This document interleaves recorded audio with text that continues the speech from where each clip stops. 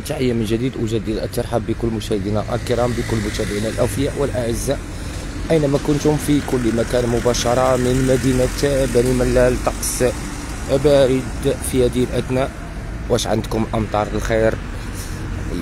هنا طقس ينذر بتساقط أمطار الخير والبركة. إن شاء الله تعالى متابعينا مشاهدي قناة الشعب قناة شوف تيفي بطبيعة الحال 20 درجة اللي كتسجل في هذه الأثناء بالضبط صبيحة اليوم. الخميس كذلك مرتقب أنها توصل يعني 14 درجة اللي كتسجل في هذه الأثناء بالضبط ومرتقب أنها توصل ل 20 درجة كأعلى مقياس بعد زوال اليوم. متابعينا مشاهدينا الكرام ومن المرتقب أنها تنخفض ل 14 درجة كذلك بالمساء والليل. نسبة الرطوبة كتجاوز 66% بقليل وسرعة الرياح 5 كيلومترات في الساعة. بالضبط إذن هذه حالة الطقس والأحوال الجوية هنا في مدينة بني ملال صبيحة اليوم الخميس مشاهدينا متابعينا الكرام. كذلك يعني تسجيل انخفاض ملموس في درجات الحرارة. كما هو معلن بطبيعة الحال في النشرات الإنذارية للمديرية العامة للأرصاد الجوية.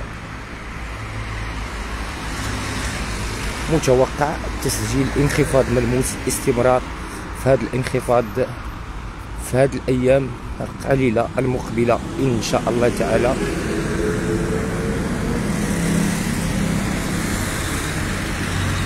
مع توقع تساقط أمطار الخير والبركة كما كتشوفوا مشاهدينا السماء ملبدة بالغيوم هنا بعاصمة جهة بني ملال خنفرة. جوهرة الأطلس المتوسط مدينة بني ملال. اللي كتعرف بطبيعة الحال مشاهدينا متابعينا الكرام بهدوئها يعني بطيبوبة ناسها أجواء جميلة ورائعة. صبيحة اليوم الخميس.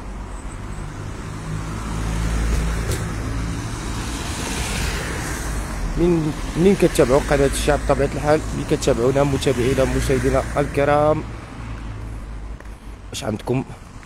أمطار الخير والبركة.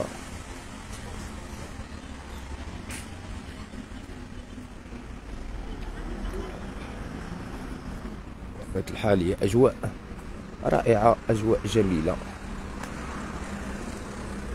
يعني وباردة في نفس الوقت.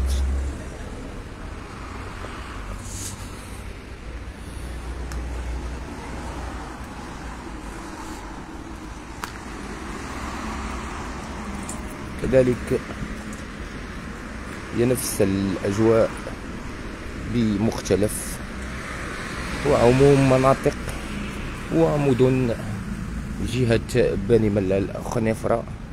يعني مع تفاوت بسيط في درجات الحرارة يعني تفاوت بدرجة أو درجتين على أبعد تقدير. كانت هي الأجواء العامة دي حالة الطقس هنا في مدينة بني ملال. مشاهدينا متابعينا الكرام سماء ملبدة بغيوم. كيف ما كتشاهدوا معايا طقس ينذر بتساقط أمطار الخير والبركة إن شاء الله تعالى اليوم. وكذلك في الأيام القليلة المقبلة إن شاء الله تعالى. إلى بث مباشر آخر دائما من مدينة بني ملال أو إحدى نواحيها أو إحدى أقاليمها. مع تحيات أخوكم طارق دائما أسعد الله أوقاتكم بكل خير وإلى اللقاء.